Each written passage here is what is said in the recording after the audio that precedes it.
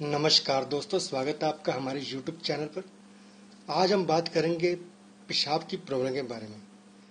पेशाब ना आना या पेशाब रुक रुक कर आना। दोस्तों, जब किसी कारण से मूत्राशय में रुकावट होती है तो पेशाब आना बंद हो जाता है। ऐसे में रोगी को पेशाब लगने का एहसास तो होता है, परंतु पेशाब नहीं आता। मूत्र न आने पर पेट के नीचे का भाग फुला हुआ महसूस होता है, क्योंकि मूत्राशय में पेशाब इकट्ठा हो जाता है। इसी तरह से कभी कभी किसी कारण से मूत्राशय में पेशाब जमा ही नहीं होता। ऐसे में रोगी को पेशाब का अनुभव ही नहीं होता। इसे मूत्र नाश कहते हैं। इन दोनों रोगों में पेशाब आना बंद हो जाता है और रोगी को अधिक कष्ट होता है। दोनों रोगों में फ़र्क सिर्फ़ इतना है कि मूत्र नाश में, मूत्राशय में पेशाब नहीं बनता। इसलिए रोगी को पेशाब नहीं लगता, जबकि मूत्र रोध में। मूत्राशय में पेशाब बनने के बाद पेशाब तो लगता है, परंतु पेशाब आता नहीं है। पेशाब में रुकावट के जो कारण है दोस्तों, वो है खून के थक्के जमने की वजह से भी कई बार बूंद बूंद करके पेशाब आता है। पुरुषों में उम्र बढ़ने के साथ कई बार प्रोस्टेट ग्लैड बढ़ जाता है, जो यूरिन ब्लॉकेज के कारण बन जाता है। यूरिन इन्फेक्शन से भी कई बार पेशाब न आने की समस्या हो सकती है। पेशाब के रास्ते में पथरी फंसने से भी रुकावट आ जाती है। पाचन तंत्र से भी कई बीमारियाँ जन्म लेती है, जिसके कारण पेशाब में रुकावट आती है। तो आज हम आपको कुछ ऐसे घरेलू नुस्खे बताने जा रहे हैं जिनकी सहायता से आप इस समस्या छुटकारा पा सकते हैं। तो आइए जानते हैं उन नुस्खों के बारे में।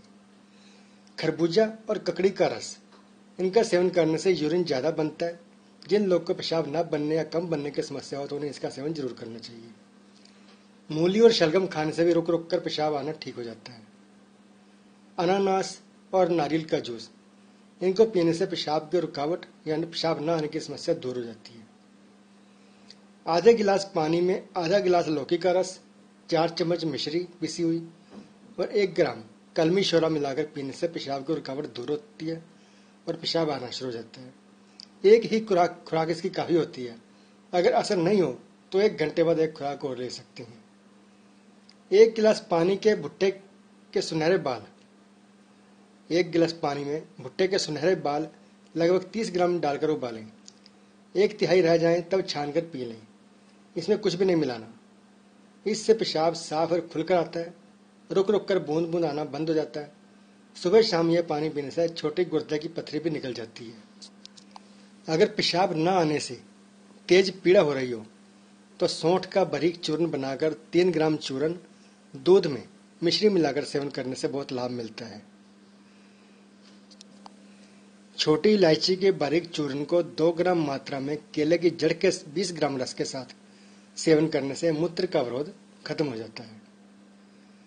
25 ग्राम आंवले को 400 ग्राम जल में उबाल लें 25 ग्राम क्वास जब शेष रह जाए तो थोड़े से गुड़ के साथ सेवन करने से मूत्र कच्छ की विकृति नष्ट हो जाती है। इसके साथ शूल, रक्तपित्त और जलन में भी लाभ मिलता है। सूरजमुखी के 10 ग्राम बीजों को खूब बारीक पीसकर जल के साथ सेवन करने से पेशाब के रोगों में लाभ मिलता है। पचास ग्राम जीरा और पचास ग्राम मिश्री। दोनों को कूट पीस कर चूर्ण बनाकर कपड़े से छान लें। इस चूर्ण को पाँच ग्राम मात्रा में जल के साथ सेवन करने से पेशाब न आने की समस्या ठीक हो जाती है। तो दोस्तों, ये थे कुछ घरेलू उपाय जिनकी सहायता से आप इस समस्या से छुटकारा पा सकते हैं।